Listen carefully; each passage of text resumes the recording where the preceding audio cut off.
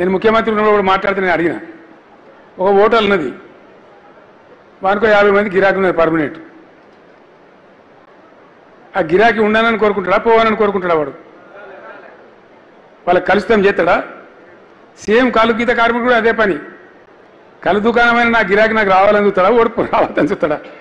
కాబట్టి తప్పురా బాబా భావన తప్పు.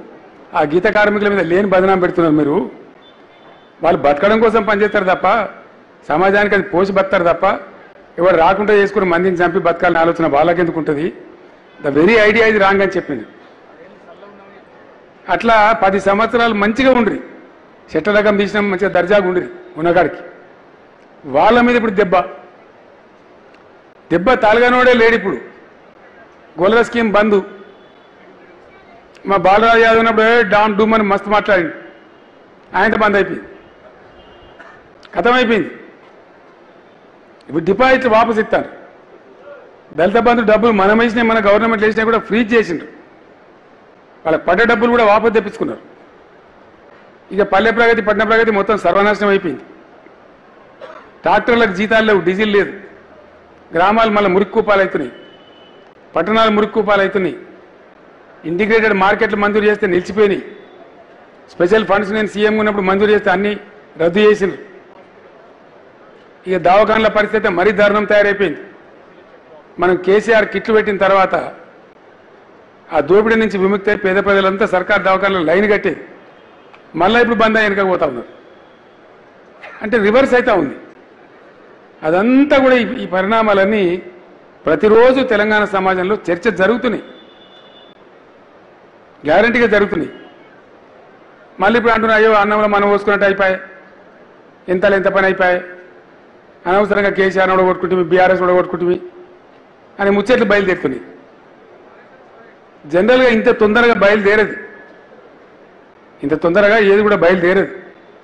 బయలుదేరిందంటే దాని అర్థమైంది అనతి కాలంలోనే ఈ ప్రభుత్వం అప్రతిష్ట పాలవుతుంది ప్రజాగ్రహానికి గురవుతుంది రిప్లేస్మెంట్ ఇవ్వాలంటే మళ్ళీ మనమే. కనపడేది మనమే. ఇంకోళ్ళతో కాదా పని? కళ్యాణ లక్ష్మి బంధు తులం బంగారం బంధు అన్ని బందే. రుణమాఫీ బంధు చేనేతల బంధు అన్ని బందే. ఏది జరుగుతలేదు. మరి ఏం జరుగుతుందా అంటే మనకు తెలుస్తుంది మరి బంధానికి ఇంకేమైనా మంచి జరగాలి కదా. అదేం జరుగుతుంది ఏం జరుగుతలేదు. మొత్తం మీద అది జరుగుతుంది. సో ఇదంతా క్యుములేటివ్గా ఏమవుతుంది బాంబు వెళ్ళినట్టు వెళ్తుంది. సమయం వచ్చినాడు. ఆ సమయం కూడా ఎక్కువ దూరం ఉంటుందని నేను అనుకుంటలేను. కారణాలు అట్లున్నాయి. డెఫినెట్గా మంచిగా ఉన్నాయి మన పార్లమెంట్ ఎలక్షన్లో ఏం ఫలితాలు వస్తాయో చూద్దాం. ఇవాళ మిత్రుడు నవీన్ రెడ్డి గెలిచిండు. ఇంత సప్ప కొడతారు సప్పట్లు. నవీన్ రెడ్డి గెలిచిండు. మహబూబ్నగర్ జిల్లా నాయకులందరూ కూడా నేను ధన్యవాదాలు తెలియజేస్తా ఉన్నా. పట్టు పట్టి జట్టు కట్టి బ్రహ్మాండమైన విజయం చేకూర్చిన పార్టీకి. ఇంకొక ఎమ్మెల్సీ కూడా పెద్ద హీరోయిక్ గెలుపు గెలవబోతున్నాడు రాకేష్ రెడ్డి.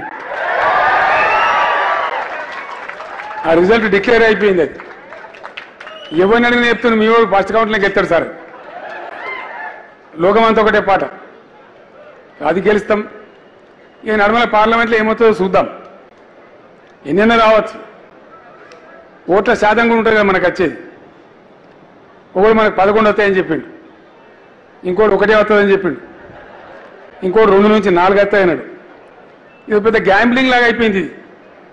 దాని మీద సట్టా బజారు శర్తులు కట్టుడు బేటీలు కట్టుడు కోట రూపాయలు చేతులు మారుడు ఇదో పెద్ద గోల్మాల్ కంపెనీ అయిపోయింది. సరే చూద్దాం. డెఫినెట్గా మంచి స్పందన ఉండే ప్రజలలో బస్సు యాత్రలో మంచి ఫలితాలు రావాలి. ఎంతవరకు వస్తామో చూద్దాం. ఎట్లా వచ్చినా బాధ లేదు. మనకు పదకొండు అయితే పెద్ద పొంగి అది చేసేది లేదు. రెండో మూడో అయితే కుంగిపోయేది లేదు. ఎట్లా వచ్చినా పరిస్థితి ఎట్లా ఉన్నా తెలంగాణ రక్షణ కవచం బీఆర్ఎస్. ఈ రాజకీయ ఫలితాలు వస్తూ ఉంటాయి పోతూ ఉంటాయి. ఇప్పుడు మహబూబ్ గెలిచినాం మనం. ముఖ్యమంత్రి సొంత జిల్లా.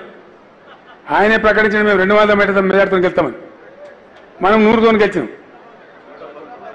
నూట పదకొండు ఫైనల్ నూట పదకొండుతో గెలిచినాం. అంటే దీని ఇంత మాత్రాన మనం పొంగిపోయే అవసరం లేదు. కాబట్టి ఎప్పుడైనా జయాపజయాలు నిరంతరంగా వస్తూ ఉంటాయి పోతూ ఉంటాయి.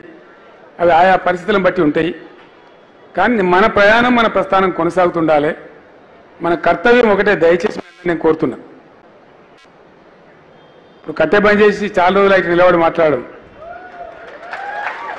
పర్లేదు పర్లేదు సో నేను కూడా మంచిగా దురస్థ అయిపోయాను ఇప్పుడు ఏం బాధ లేదు. పోదాం ఇంత దూరమైన పోదాం. చాలా అద్భుతమైన కొత్త నూతన ఉద్యమ పంద ఆవిష్కరించాల్సిన అవసరం ఉంది ఇప్పుడు. కొత్త ఉద్యమ పంద మనం పట్టాల్సి వస్తుంది ఎందుకంటే ప్రజలను కాపాడుకోవాలి. ప్రజల కోసం పనిచేయాలి. ప్రజల హక్కుల కోసం పనిచేయాలి. వాళ్ళ ఆశలు అడియాశలు కాకుండా మనం కాపలాదారులుగా ఉండాలి. ఇంతకు మించిన వేరే కర్తవ్యం మనకు లేదు. తెలంగాణ ప్రజల ప్రయోజనాల పరిరక్షణనే బీఆర్ఎస్ ప్రథమ కర్తవ్యం. దయచేసి రాజకీయ ఫలితాలు మిగతా వాటితోనే ఆగమాగం కాకుండా వాటి కోసం పిచ్చి పిచ్చి కాకుండా బ్రహ్మాండమైన ఉజ్వలమైన భవిష్యత్తు ఉంటుంది మనకు. భవిష్యత్తు మనకు కాదు తెలంగాణ రాష్ట్రానికి ఉంటుంది తెలంగాణ ప్రజలకు ఉంటుంది. వీళ్ళు చేసే తప్పులు మళ్ళీ సరిదిద్దాలి మళ్ళీ మంచిగా చేయాలి. అది ఎవడో చేయడం ఎవరి నుంచి కాదు. లోతు తెలిసిన వాళ్ళు మనమే కాబట్టి మన మీదనే ఆ కర్తవ్యం బాధ్యత ఉంటుంది. కాబట్టి ఈ దశాబ్ది మనకు ఒక స్ఫూర్తి కావాలి ఈ దశాబ్ది వేల అందరికి అన్నం పెడుతున్నారు కదా? పెడుతుండ్రా? ఏర్పాటు చేసిండ్రు కదా? రామారావు చెప్తున్న భోజనాలు ఉన్నాయట. దానికి ఇబ్బంది ఏం లేదు. సో ఇంకా పది నిమిషాలు ఎక్కువ మాట నడుస్తుందని మాట్లాడుతున్నాను నేను. ఈ భోజనం గ్యారెంటీ ఉంది కాబట్టి బాధ లేదు. కాబట్టి మీ అందరితో కూడా నా ప్రార్థన ఒకటే. ఉద్యమ ప్రస్థానం ఉద్యమ ప్రారంభమైనాడున్న రోజులు కావాలని మీకు నేను గుర్తు చేసిన. గంత కఠినమైన సమయంలో అటువంటి పరిస్థితులలో ఉద్యమాన్ని ప్రారంభించి గొప్ప విజయం సాధించి రాష్ట్రాన్ని సాధించి పెట్టిన సంస్థ మన సంస్థ. ఈ రాజకీయ జయాపజయాలు మనకు లెక్క కాదు. మనం కూడా రెండు టర్ములు గెలిచినాం. ఎంపీలు గెలిచినాం అన్ని చేసినాం. మళ్ళా వస్తుంది గెలిపి యాడికి పోదు. కాబట్టి మీ అందరితో నేను ప్రార్థించేది ఒకటే.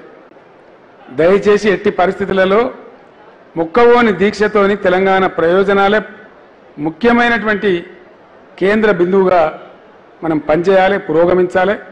అదే మన కర్తవ్యం.